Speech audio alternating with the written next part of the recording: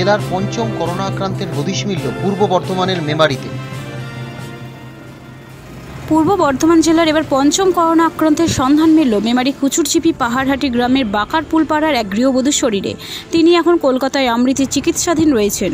Covid nineteen তৃতীয়, চতুর্থ পঞ্চম স্তর কলকাতায় ভর্তি করানো হয়েছে। সরাসরি সংস্পর্শে থাকায় আক্রান্তের বাবা, মা, দিদি, কাকা ও কাকিমাকে গাংপুরে কোভিড নাইন্টিন প্রথম ও দ্বিতীয় স্তর হাসপাতালে পাঠানো হয়েছে। জেলা প্রশাসনের এদিন জেলা শাসক বিজয় ভারতী জানান, দক্ষিণ কলকাতার একটি বেসরকারি হাসপাতালে চিকিৎসাধীনে আছেন। মহিলা করোনা পরীক্ষার জন্য দুইবার নমুনা সংগ্রহ করা হয়, তখনও পর্যন্ত নেগেটিভ আসে। তৃতীয়বার টেস্ট করা হলে কোভিড নাইন্টিন পজিটিভ ধরা পড়ে। জেলা শাসক বিজয় ভারতী আরও বলেন, মেমারির দু নম্বর ব্লকের প্রত্যক্ষ সংস্পর্শে আসা পাঁচজনকে হাসপাতালে পাঠানো হয়েছে। বর্তমানের আক্রান্ত মহিলার সংস্পর্শে থাকা পাঁচজনের নমুনা পরীক্ষার জন্য পাঠানো হয়েছে। কার্যত এই ঘটনার পরেই পুলিশের পক্ষ থেকে ওই সংলগ্ন এলাকা বাস দিয়ে ঘিরতে শুরু করে দিয়েছে। পাশাপাশি ওই এলাকা স্যানিটাইজ করা হচ্ছে।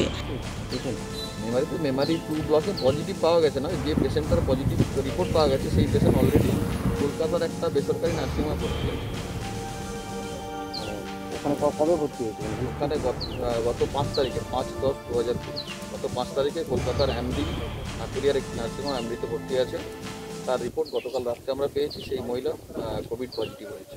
ওখানেই এখন চিকিৎসা দেন ওখানে চিকিৎসা তার জন্য কতজনকে আপনার কোয়ারেন্টাইনে নেওয়া হবে? আমরা এখন প্রাইমারি স্টেজে ছজনকে কোয়ারেন্টাইন প্রাইমারি কন্ট্যাক্ট যেটা পাওয়া গেছে ছজন। তাদেরকে কোয়ারেন্টাইন সেন্টারে পাঠানো হলো। বাকি সেকেন্ডারি লিস্ট তৈরি করা হচ্ছে তারা করা এসেছে। মেডিকেল কলেজে ভর্তি করতে হয়েছে? ওর অ্যাকচুয়ালি ক্রনিক একটা কিডনির প্রবলেম আছে এবং অ্যানিমিয়া আছে শ্বাসকষ্ট তার সঙ্গে ছিল। যে কারণে এই মাসেরই প্রথম দিকে বর্তমান পিএমসিএইচে গেছিল ট্রিটমেন্ট করাতে ওখান থেকে ওকে ক্যাম্প দিতে পাঠিয়েছিল। ক্যামরিতে ওর যেহেতু এই শ্বাসকষ্টের একটা প্রবলেম ছিল এই জন্য তো সোয়াব নিয়ে টেস্ট করা হয়েছিল তাতে কিন্তু প্রাইমারি স্টেজে নেগেটিভই ছিল। তারপরে ক্যামরি থেকে রিলিজ করে দেওয়া হয় ওকে বিএমসিএইচ বিএমএস থেকে বাড়ি বাড়ি থেকে আবার কলকাতাতে ফার্দার ট্রিটমেন্টের জন্য ওরা রাখে সেখানে কিন্তু পাঁচ দিন থাকার পরে পজিটিভ ধরা পড়েছে। তার আগে কিন্তু কোনো কিছু সিমটম ছিল না। গতকালই কি সোয়াব নেওয়া হয়েছিল নাকি? গতকাল সকালে সব নিয়েছিল রাত্রিবেলা রিপোর্ট একটা পেশেন্ট ছিল, এখানে তিন তারিখে এসেছিল মেডিকেল কলেজে এখানে দেখানো হয়েছে।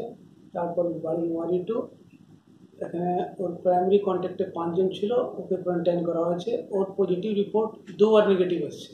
থার্ড টাইম দশ তারিখে আমরিতে কলকাতাতে, যেখানে ও এখনও ভর্তি আছে, ওখানে টেস্ট হলো পজিটিভ এসেছে।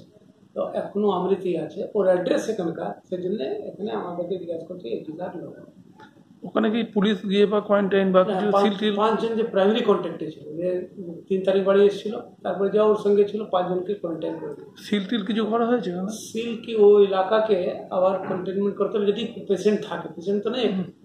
তো ওর প্রাইমারি কন্ট্যাক্টে তুলে কোয়ারেন্টাইনে রাখা আছে। তারপরে কি ওর